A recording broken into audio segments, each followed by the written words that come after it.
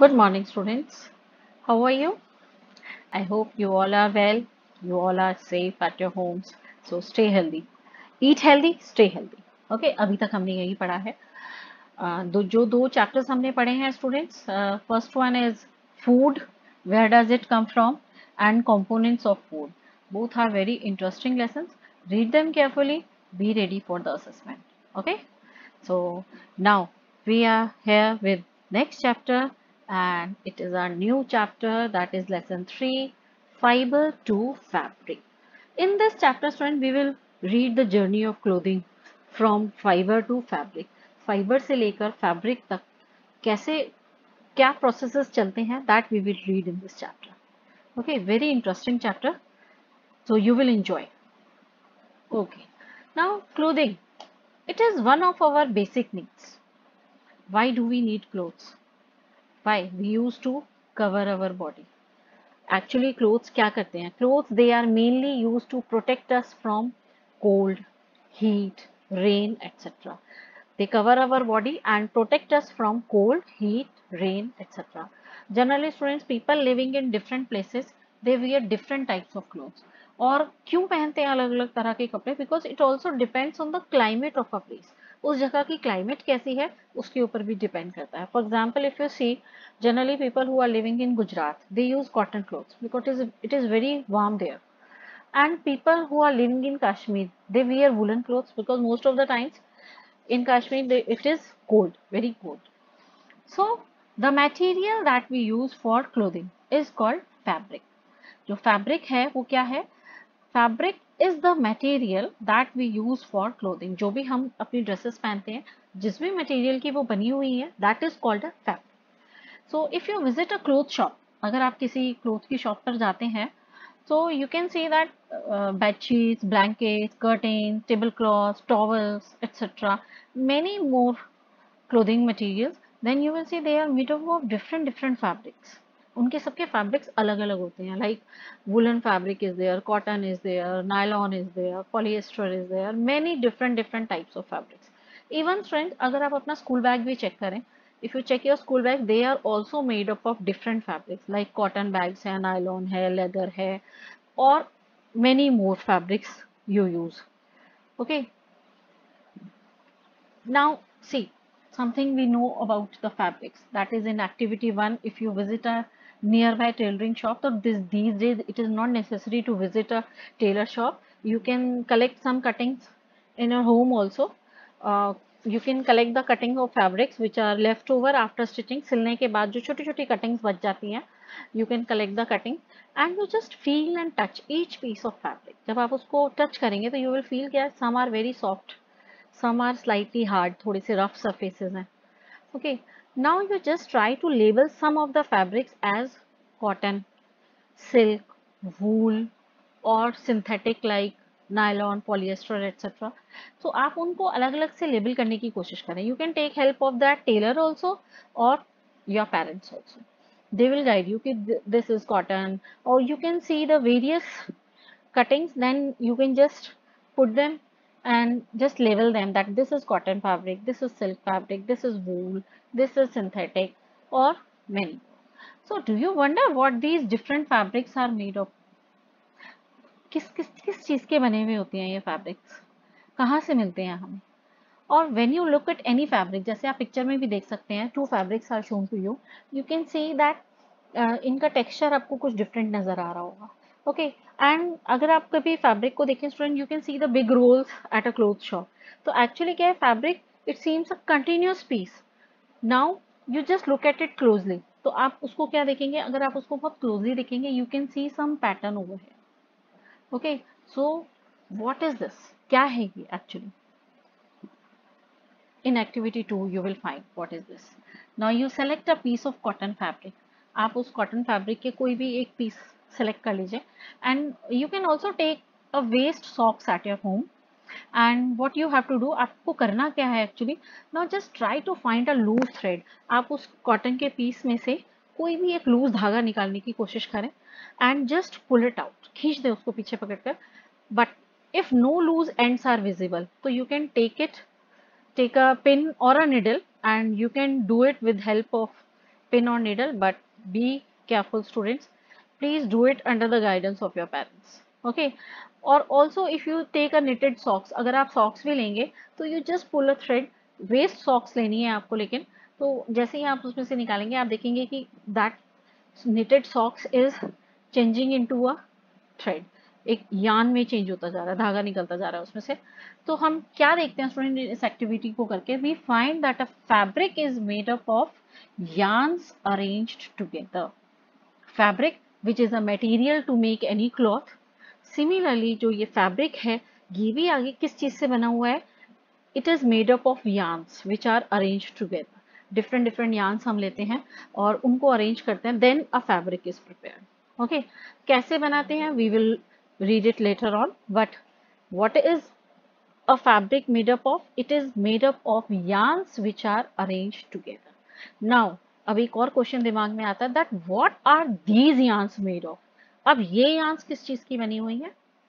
Just move to activity three what you have to do take out a yarn from a peace of cotton fabric आप यान लें, धागा निकालें उसको and then place this peace of यान on the table उसको table पे रखें and now press one and of the यान विद योर थम अपने थम से उसको प्रेस कर लें एक साइड से and then scratch the other end उस यान के, उस थ्रेड के दूसरे एंड को आप स्क्रैच कीजिए with the help of your nail तो what you will find you will find that the yarn splits up into two thin strands two or more thin strands you can say कि वो जो धागा है अब आगे से स्प्लिट हो गया है, बिखर गया है एक तरह से और छोटे छोटे से आपको उसमें स्ट्रैंड्स नज़र आ रहे होंगे।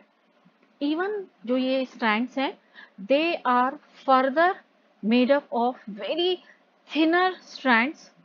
Okay, so you, आपने एक और चीज़ आप करके देखते होंगे स्टूडेंट जब भी आप कभी सुई में धागा डालते हैं whenever you just try to thread a needle तो बहुत बार क्या होता है many a time you can see the end of the thread is separated into few thin strands जो एंड होता है आगे से धागे का छोटे छोटे स्ट्रैंड्स में ऐसे डिवाइड हो जाता है सेपरेट हो जाता है। और इससे क्या होता है it makes it difficult to pass the thread to the eye of the needle and the thin strands of this thread that we see they are made up of still thinner strands which are called fibers ये जो छोटे छोटे आपको strands नज़र आ रहे हैं ये आगे और भी छोटे छोटे thinner strands से मिलकर बने हुए होते हैं और इन thinner strands को हम क्या कहते हैं fibers तो what are fibers the thin strands of thread that we see they are made up of still thinner strands and these thinner strands are called fibers. तो students अगर हम if you collect all the three activities तो हमें क्या मिलता है what is the conclusion actually that fabrics they are made up of yarns which are arranged together and yarns are further made up of fibers. So fiber is converted into yarn then yarns are arranged together to make a fabric. So this is the whole story of fiber to yarn to fabric. But what is the process? That we will read. Okay. Now students again in our mind because we are science students we are very active so हमारे इस active brain में बहुत सारे questions आते रहते हैं कि अब हमने ये तो पढ़ लिया कि फाइबर से बनकर हम यान बनाते हैं और यान को अरेंज करके हम फैब्रिक बनाते हैं। अब ये फाइबर कहाँ से आता है हमारे पास? बेसिकली ये फाइबर मिल कहाँ से रहा है हमें okay so what are the different types of fibres fibre student they are broadly classified मतलब दो बड़े उनके ग्रुप्स बनाए जाते हैं। Into two main types natural fibres and synthetic fibres you can see in the flow chart also that fibres they are divided into two categories natural and synthetic now what are natural fibers the fibers which are obtained from plants and animals, they are called natural fibers. And natural fibers, they are again classified into two types. Plant fibers, obviously, which are obtained from plants. And what are the examples like cotton, jute, etc and animal fibers like wool and silk. They are obtained from animals. So in the picture you can see cotton, jute, woolen, silk. So these are natural fibers. What are natural fibers? The fibers which are obtained from plants and animals, they are called natural fibers. Plants and animals, they are very important. They are giving different different types of food. They are giving different types of fibers. So plants hame kitna dete hain students okay? They give us oxygen and many other things. So they are very very important in our life. Okay? So coming back to natural fibers what are natural fibers? The fibers which are obtained from plants and animals they are called natural fibers. Plant fibers animal fibers fibers which we obtain from plants they are called plant fibers and fibers which we obtain from animals they are called animal fibers okay now synthetic fibers what about synthetic fibers that so बहुत सालों से हम for thousands of years natural fibers ही सिर्फ़ हमारे पास थे जो जिनसे हम फैब्रिक्स बनाते थे बट अब कुछ सालों से in the last hundred years also fibres are also made from chemical substances which are not obtain from plant or animal sources जो फाइबर्स हमें प्लांट्स और एनिमल से नहीं मिल सकते हैं तो these fibres are made from chemical substances and these are called synthetic fibres obviously students अगर आप देखेंगे सिंथेटिक फाइबर्स में कहीं ना कहीं काफ़ी बेनिफिट्स हैं हमें। That is why we use synthetic fibres so some examples of synthetic fibres are like polyester nylon acrylic if you see this rope this is made of nylon okay so there are synthetic fibres and natural fibres synthetic fibres we get we make these fibres from chemical substances in the factories and that is why these are called synthetic or artificial fibers because they are not uh, given by plants or animals naturally. Okay, so now we talk about plant fibers and a main plant fiber very important is cotton. Okay, have you ever made wicks for oil lamp? Do you know what are wicks?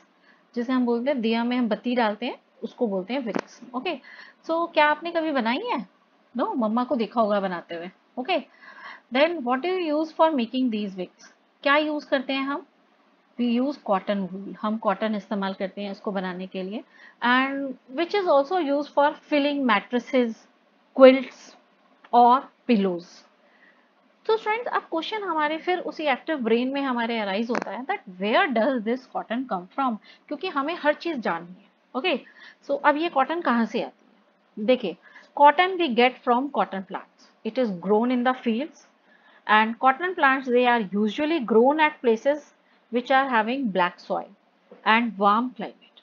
तो इसके लिए जो important है वो क्या है? एक तो black soil है and also warm climate is also good for growing cotton crop the fruits of cotton plant friends if you see in the picture also that the fruits of cotton plants they are the uh, about a size of a lemon एक नींबू के size के होते हैं approximately वो and after maturing okay basically they are green in color but जैसे जैसे mature होते जाते हैं पकते जाते हैं तो they change their color into brown okay and after maturing जब वो पूरे पक जाते हैं, जो ये होल्स होते हैं दे बर्स्ट ओपन ऐसे खुल जाते हैं and the seeds inside that fruit they are covered with cotton fibres और आप देख भी सकते हैं that in first picture you can see a cotton boll which is of lemon size then cotton boll bursts after maturing and in third figure you can see the seeds with cotton fibres ये जो आपको seeds हैं, उन पे ऐसे cotton fibre लगा हुआ होता है। And have you ever seen a cotton field? अगर आप कभी कॉटन फ़ील्ड देखें ना स्टूडेंट कभी मौका मिले तो और जब बिल्कुल मेच्योर्ड वहाँ पर आपको ऐसे कॉटन बोल्स मिलेंगे बर्स जिसमें से ऐसे कॉटन फाइबर बाहर आ रहा होगा तो बिल्कुल ऐसा लगता है it looks like a field which is covered with snow because cotton is white in colour तो ऐसा लगता है बिल्कुल बर्फ़ गिरी हुई है जैसे। Looks very beautiful now another plant fibre is jute also called golden fibre jute fiber is obtained from the stem of the jute plant if you see that the various parts of these plants are giving these fiber like in cotton plant the cotton is obtained from the fruit part of the plant. Okay, like in jute fiber, jute is obtained from the stem of the jute plant. और इसको कब grow किया जाता है student jute जो आपका plant है it is cultivated during the rainy season and in India jute is mainly grown in West Bengal, Bihar and Assam. In these states, generally jute को grow किया जाता है and the jute plant is normally harvested. Harvested means cut. जब वो पक जाता है जब वो पूरा प्रिपेयर हो जाता है प्लांट तो उसकी कटिंग तब की जाती है and when it is at flowering stage जब फ्लावर्स आने वाले होते हैं स्टूडेंट तो तब इसकी स्टेम्स को कट किया जाता है। और the stems of the harvested plant they are emerge in water for a few days उनको पानी में डिप करके रखा जाता है। एंड इससे क्या होता है, उनकी जो फाइबर्स होते हैं, वो लूज हो जाते हैं। स्टेम्स दे रॉट वो पानी में रहकर थोड़ा सा अपने जो उनका गमी मटेरियल होता है गमी सब्सटेंस होता है स्टेम में, वो निकल जाता है। And the stems they become soft and the fibers they can be easily separated by hand. So it's very hard work of the farmers to get this fiber jute.